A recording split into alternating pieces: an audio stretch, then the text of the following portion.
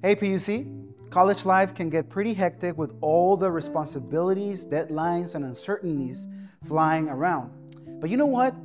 In Matthew chapter 6, verse 34, I think Jesus drops some wisdom that is worth remembering. Don't stress about tomorrow, Jesus says, because tomorrow will handle its own worries. Focus on today and deal with today's troubles.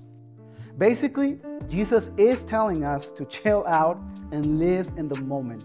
Instead of freaking out about what's coming down the pipeline, trust that God's got your back. He's got everything under control and He'll give you the strength to tackle whatever comes your way. So, as college students, it's tempting to get caught up in planning for the future, academics, careers, relationships, you name it. But stressing too much about tomorrow, I think it can, it can rob you of the joy of today. So take a breather, trust in God's plan, and make the most of each day as it comes.